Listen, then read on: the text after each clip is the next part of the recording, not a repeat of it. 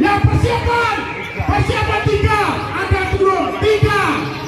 Jangan terlambat, tiga. Ya tiga jangan terlambat. Oke Pak, silakan keluar. Ada keluar, dulu di jalan cepat. Langsung keluar. Oke, stay dulu, stay dulu.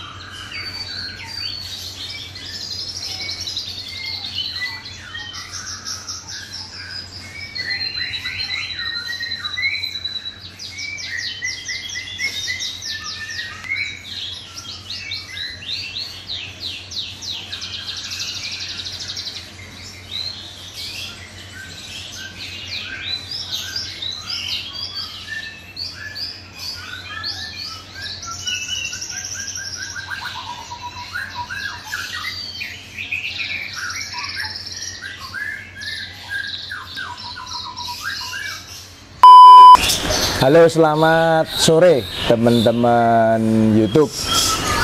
Ketemu lagi dengan saya, Mr. G Kebumen BF Kebumen. Pertama-tama, saya mau ucapkan dulu eh, selamat atas terselenggaranya Piala Ketua SMM di Surabaya tanggal 11 Desember kemarin. Dan saya juga bersyukur karena saya boleh hadir dan eh, ikut meramaikan lomba di sana. Terutama kemarin memang saya memberanikan diri untuk eh, ikut di kelas utama yaitu di kelas 22 juta. Di mana di kelas ini kalau menurut saya ini partai neraka.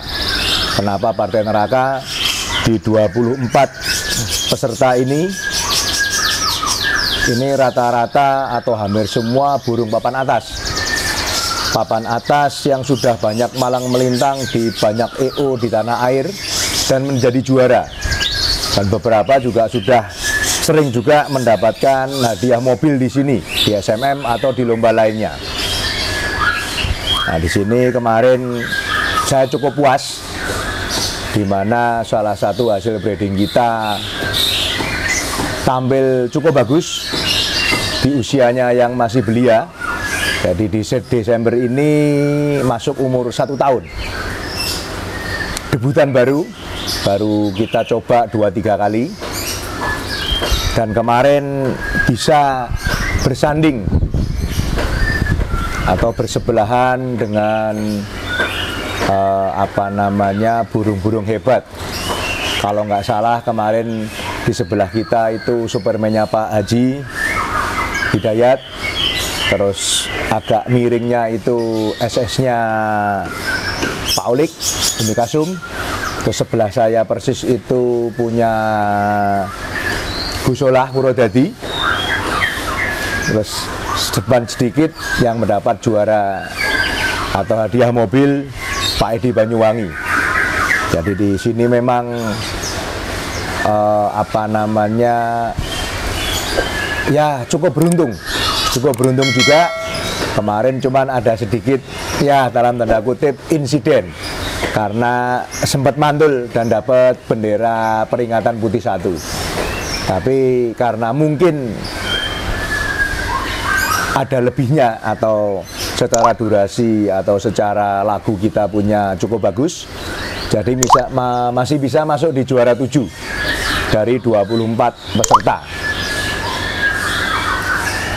Dan di ajang ini saya juga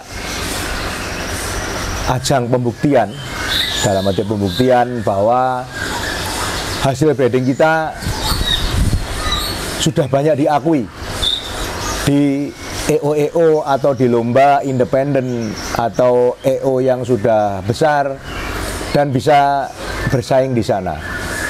Jadi di nanti teman-teman boleh lihat shoot di sini uh, apa namanya di PBI ada, di RGN ada, di Ronggolawe Nusantara ada, di BNR ada. Terus di depan ini salah satu piala kita waktu di SMM. Kalau nggak salah yang paling besar itu yang di ujung itu pertama kali SMM. Kita ada masuk 5 terus sebelahnya lagi ini anniversary pertama SMM 6 November eh, 6 Juni 2021 di mana masuk 2 dan 2 eh, berbagi A. Satu lagi pialanya di dalam rumah. Ini piala yang paling saya suka ini. Katanya ada lapisannya emas ini. Ini yang kecil paling kecil ini.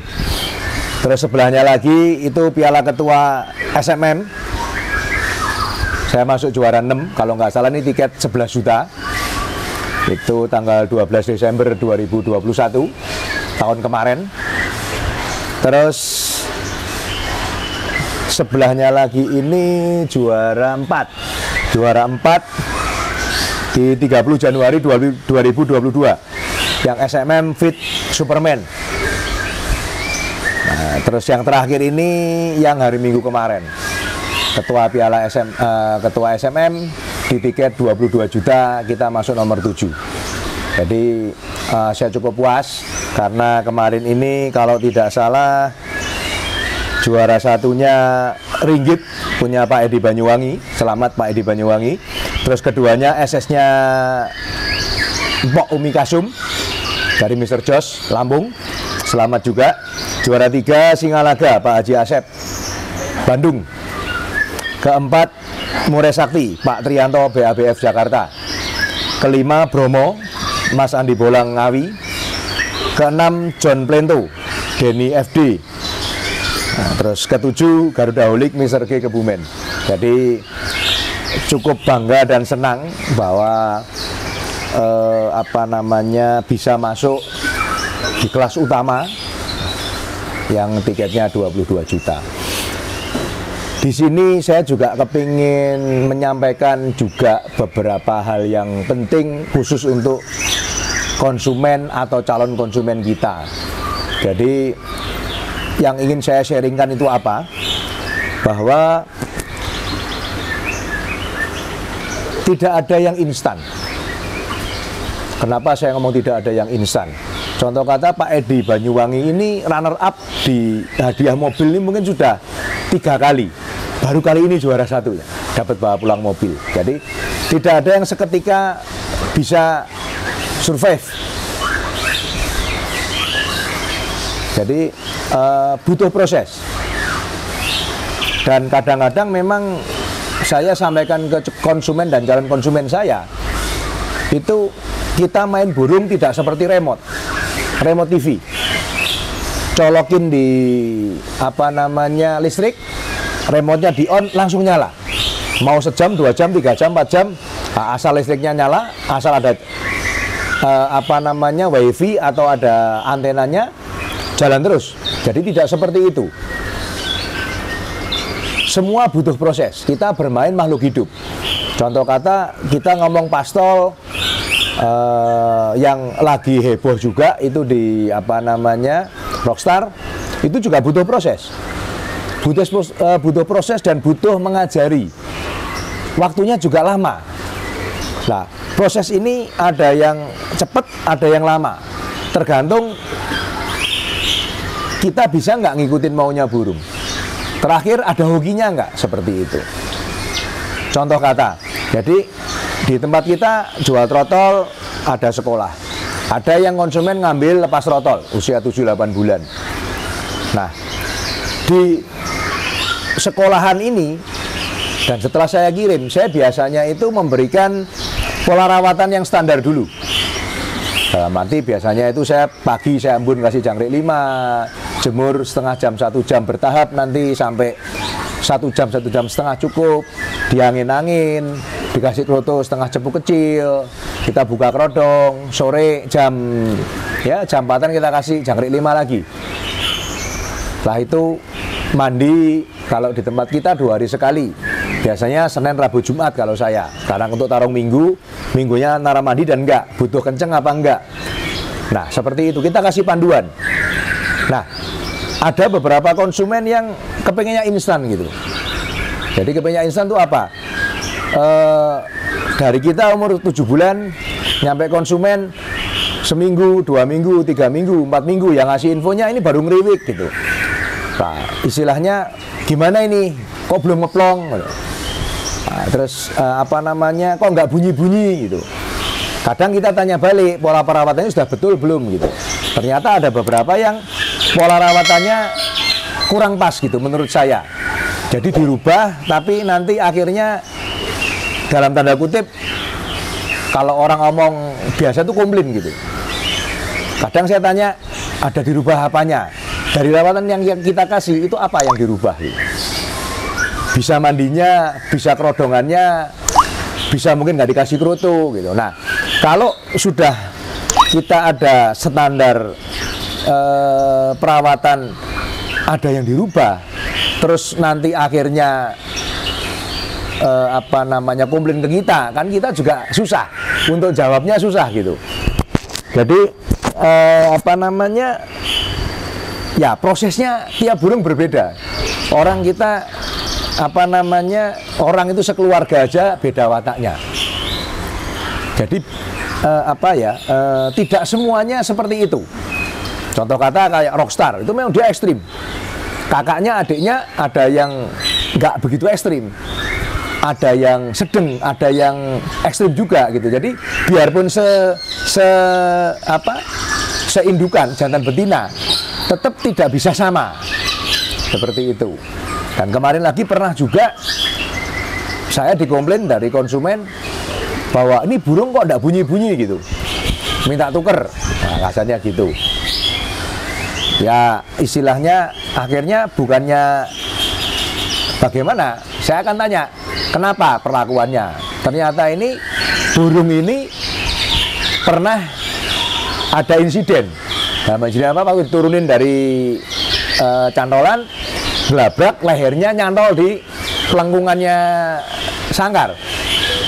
Nyangkol gitu kayak orang di tali lehernya dipegang, dibetulin nggak uh, ada masalah.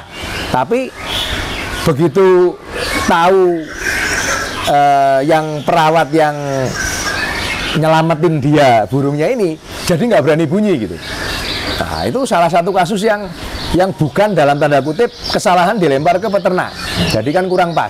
Ada satu lagi yang saya pasti ngomong kalau trotol atau pastol di tempat kita jangan diumbar dulu. Karena diumbar itu bisa jadi lebih baik, bisa jadi tidak lebih baik. Kayak rockstar itu nggak umbaran.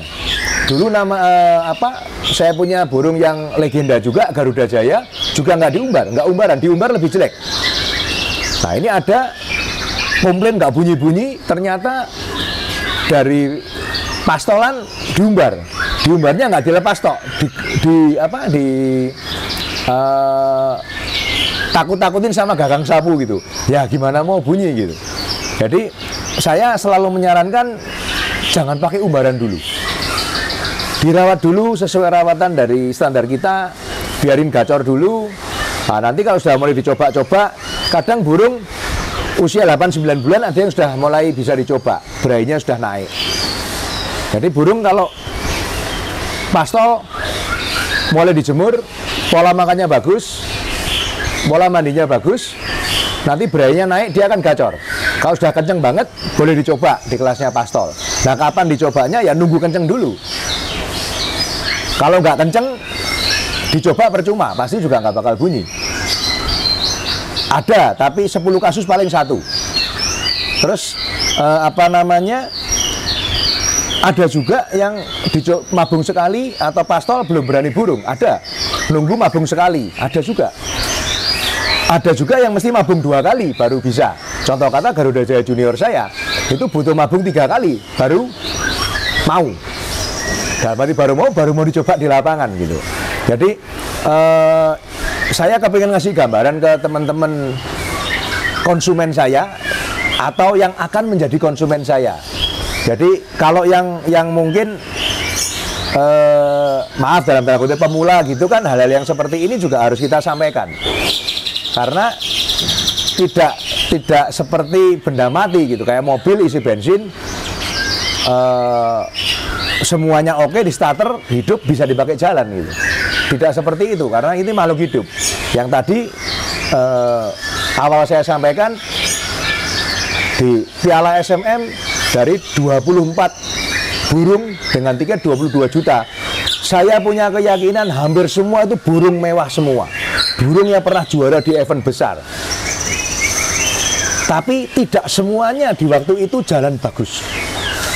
Itu burung mateng. Burungnya sudah jam terbang tinggi. Dari Jakarta, dari luar pulau, dari Jawa Tengah menuju ke Surabaya. Butuh istirahat, cuaca, faktor X-nya kan banyak. Nah, di 24 burung ini kan tidak semuanya kerja maksimal, tapi semuanya burung mewah. Nah, apalagi teman-teman yang istilahnya baru trotolan atau pastolan, nah itu pasti banyak lebih banyak PR-nya. Nah, itu itu yang bisa menjadi sharingan saya pada sore hari ini. Jadi eh, apa namanya? Ya mohon maaf kalau beli pastol mungkin harga 10, 15 yang minta yang sudah stabil atau sampai 25 juta minta yang lebih stabil sudah juara di mana-mana. Ya saya nggak jual saya malah beli gitu. Saya akan beli malah. Jadi eh, pemahaman itu ya minta tolong kita sama-sama sama-sama jaga sama-sama pahami gitu loh. Nah di tempat kita kadang ada beberapa yang konsumen minta pak minta burung yang mateng gitu. Ya kadang saya bingung jawabnya burung yang mateng itu seperti apa? Karena rata-rata pastol di tempat kita sudah berai tak coba sekali dua kali tiga kali bagus pasti laku. Kayak rockstar itu baru tak coba sekali belum juara tapi sudah dasarnya bagus sudah laku. Nah setelah itu di masih di tempat kita karena Pak Adi Darius masih di luar negeri ya pas kebetulan hokinya bagus dua minggu sekali dicoba dicoba eh, grafiknya bagus gitu. Ya tidak semuanya seperti itu. Tapi di tempat kita mabung sekali pasto sudah berai dicoba ya. Kalau harga bagus kita jual. Termasuk Garuda Holik ini. Kalau Garuda Holik ini ya memang satu tahun kalau memang harganya bagus kita jual. Jadi ya tidak ada yang tidak kita jual lah. Kayak indukan aja juga sama. Kalau harganya bagus bedol kandang silakan saja. Karena di tempat kita burung banyak. Jadi yang antre untuk diorbitkan itu banyak. Seperti itu jadi eh, apa namanya terakhir ya hoki ya. Dalam arti hoki itu keberuntungan. Kalau kita sudah burungnya bagus disiapin dengan baik kondisinya baik nah, tinggal di lapangannya ada hoki nggak kerja bagus nggak? Seperti itu dia, dia kita ngomong mengesampingkan EO atau penjurian ya. Jadi uh, apa saya mengesampingkan itu dulu, tapi kita faktor kita dulu. Kalau itu kan faktor ekstern. Kita faktor internnya kita, kita siapin burung dengan baik, ya toh kondisinya baik, istirahatnya cukup. Kalau luar kota ya mungkin sehari dua hari sudah sampai di sana. Kondisinya baik, siap, hokinya bagus, ya bisa juara. Kayak kemarin saya ngomong ya, puji Tuhan hokinya bagus sekali karena burung umur satu tahun tak coba baru dua tiga kali ini apalagi di tiket 22 juta kalau orang bilang berani mati tapi saya bilang berani hidup itu tapi kita memang butuh itu. Butuh itu mamerin ke konsumen atau calon konsumen bahwa ini loh produk kita seperti ini. Nah, kita strategi marketingnya salah satu seperti itu jadi enak. Kalau ada orang mau beli itu enak. Nah terus eh, apa namanya faktor intern ini kita kita antisipasi dulu.